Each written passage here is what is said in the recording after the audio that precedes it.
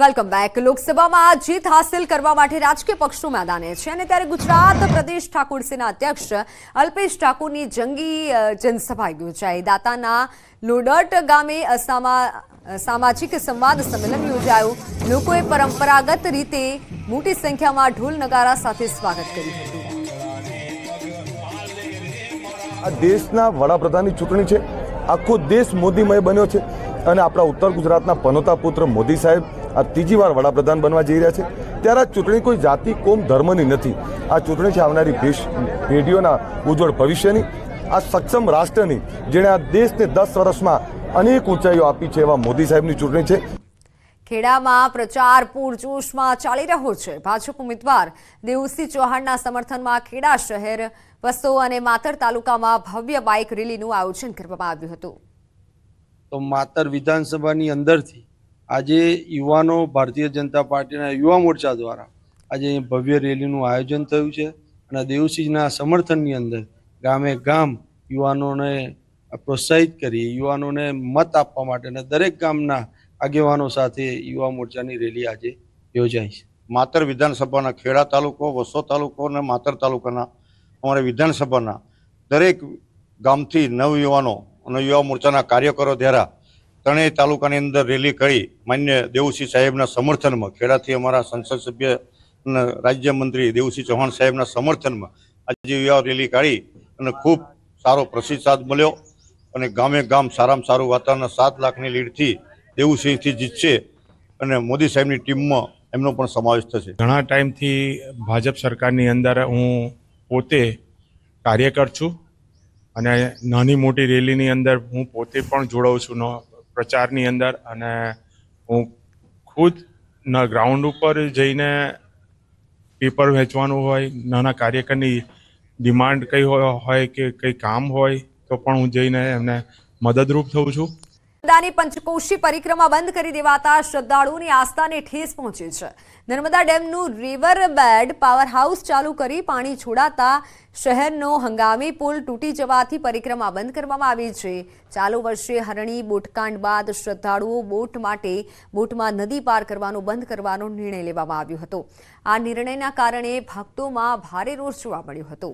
આ પરિક્રમા મોટર માર્ગે શરૂ કરાતા પરિક્રમા એકવીસ કિલોમીટરની થતી હતી. હવે એ ચોર્યાસી કિલોમીટરની થઈ ગઈ છે. અત્યારે તારીખ ઓગણત્રીસ તારીખ બાદથી નર્મદા કંટ્રોલ ઓથોરિટીના પાવર જનરેશનને કારણે નદીમાં ખૂબ જ વધારે જથ્થામાં પાણીનો પ્રવાહ ચાલુ છે. તે માટે હોડીથી યાત્રા પુનઃ શરૂ કરવા માટે જેટી બનાવવાનું તથા નદીમાં પ્રવાહમાં હોડી પસાર કરવા બાબતે એનડીઆરએફ ટીમને સાથે રાખી અને તંત્ર દ્વારા દરરોજ છે તો અલગ અલગ સમયે આપણને ખ્યાલ છે એ મુજબ ચોવીસ કલાક યાત્રા ચાલુ હોવાથી તંત્ર દ્વારા ચેકિંગ કરવાનું અત્યારે હાલમાં ચાલુ છે. આઠ એપ્રિલના ઉત્તરાયણની પરિક્રમા પગપાળા તેમજ મોટર માર્ગે ચાલુ કરી હતી. પરંતુ માની જેવી મરજી. આ સ્ટ્રીટ લાઇટ પુનઃ શરૂ કરાતા સ્થાનિકોમાં આનંદની લાગણી છવાઈ છે. અંબાજીથી ગબ્બર જવાના માર્ગ પર વીસ જેટલા સ્ટ્રીટ પોલ બંધ રહેવાના કારણે સામાજિક તત્વોને મોકળું મેદાન મળી ગયું હતું. તેમજ અંધારાના કારણે મોબાઈલ સ્નેચિંગની ચોરી લૂંટની ઘટનાઓ બનતી હતી. પરંતુ હવે સ્ટ્રીટ લાઇટ ફરી શરૂ થતા આનંદ છવાયો છે. પરંતુ આ લાઇટ કાયમી ધોરણે ચાલુ રહે તેવી માંગ સ્થાનિકો કરી રહ્યા છે. ઘણા સમયથી આ લાઇટો નાખવામાં આવી છે.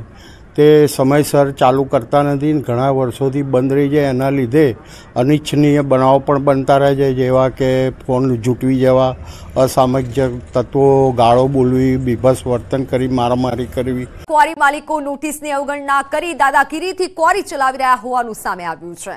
માંડવીના અરેઠમાં આવેલી પાંચ જેટલી ક્વારી મુદ્દે ગ્રામજનો વિરોધ નોંધાવી ચૂંટણી બહિષ્કારની ધમકી આપી રહ્યા છે. જેને લઈને જિલ્લા કલેક્ટરના સિનિયર પુષ્ટર શાસ્ત્રી યોગ્ય નિર્ણય આવે ત્યાં સુધી ક્વોરી બંધ રાખવા માટે તેઓએ આદેશ કર્યો હતો, જેને લેખિતમાં પણ જાણ કરવામાં આવી હતી, છતાં ક્વોરી ધમધમી રહી હોવાનો વીડિયો સામે આવ્યો છે. કાપોદ્રા પોલીસે ફ્રેન્ચાઇઝીની આડમાં ચાલતા જુગાર ધામનો પર્દાફાશ કર્યો છે. કાપોદ્રાની ગાયત્રી સોસાયટીમાંથી ઓનેસ્ટ ટુ ઓનલાઈન માર્કેટિંગ નામની ફ્રેન્ચાઇઝીમાં યંત્રના ચિત્ર પર વિજેતાઓને રકમના નવ ગણા રૂપિયા આપવાનું કૌભાંડ ચાલતું હતું. પોલીસે બાતમીના આધારે ગાયત્રી સોસાયટીમાં આવેલ બિલ્ડિંગ નંબર એકસો ચૌદમાં ચાલતી દુકાનમાં રેડ કરી હતી અને જ્યાં યંત્રના નામે જુગાર રમાતો હતો, પોલીસે જુગાર રમતા ચૌદ આરોપીઓની ધરપકડ કરી છે.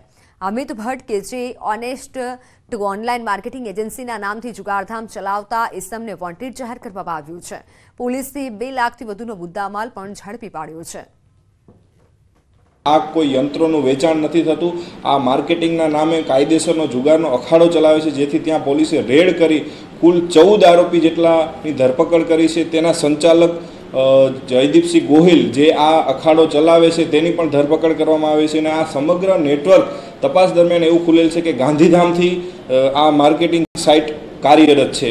સુરતની સુરતના બેસ્તાન પોલીસને ડ્રગ્સ પકડવામાં સફળતા મળી છે. બેસ્તાન પોલીસે વર્કઆઉટ દરમિયાન મેફેટ્રોન ડ્રગ્સ ઝડપી પાડ્યું છે. પોલીસે બાતમીના આધારે ત્રણ યુવતીઓ સહિત કુલ સાત શખ્સોને ઝડપી પાડ્યા છે. પોલીસે આરોપીઓ પાસેથી રૂપિયા છત્રીસ હજાર છસોનું ડ્રગ્સ કબજે કર્યું હતું.